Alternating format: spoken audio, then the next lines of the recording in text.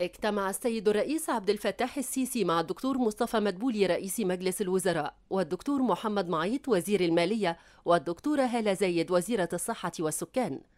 وصرح السفير بسام راضي المتحدث الرسمي باسم رئاسة الجمهورية بأن الاجتماع تناول متابعة محاور استراتيجية وزارة الصحة والسكان خاصة فيما يتعلق بمبادرة إنهاء قوائم الانتظار لمرضى الحالات الحرجة من المواطنين. وكذلك الخطوات التنفيذية الجارية حاليا في محافظة بورسعيد لتطبيق منظومة التأمين الصحي الشامل.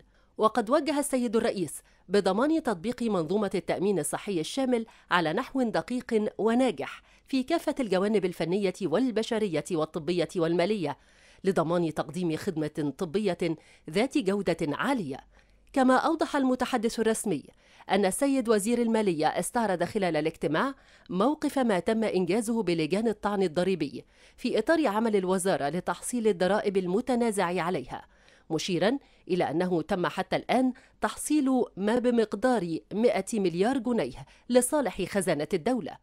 كما اجتمع السيد الرئيس عبد الفتاح السيسي مع الدكتور مصطفى مدبولي رئيس مجلس الوزراء والدكتور عمرو طلعت وزير الاتصالات وتكنولوجيا المعلومات والسيد اللواء ياسر كمال أبو منظور مدير إدارة النظم والمعلومات للقوات المسلحة. الاجتماع تناول متابعة الموقف التنفيذي لمشروعات قطاع الاتصالات وتكنولوجيا المعلومات.